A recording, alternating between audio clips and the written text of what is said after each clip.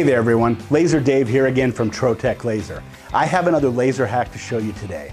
This hack will solve the issue of trying to keep oddly shaped, low volume products in place when engraving them on your laser system. This laser hack will use a tray of sand to allow for quick position and alignment of this kind of product. Simply place the bin of sand into the laser system, place the product into the sand, use a level to make sure that the product is level, then focus onto the part, use the red dot pointer to position the design graphic, and then run the desired file onto the part. This process is ideal for prototyping and testing those single run products, saving a large amount of setup time trying to figure out how to hold the product in place.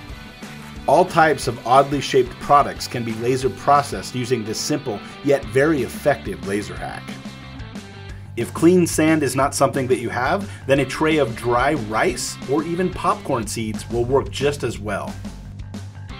Thank you so much for watching this video. If you like this video, please don't forget to like and subscribe. If you have any questions, please leave them in the comment section below or see our website at troteclaser.com.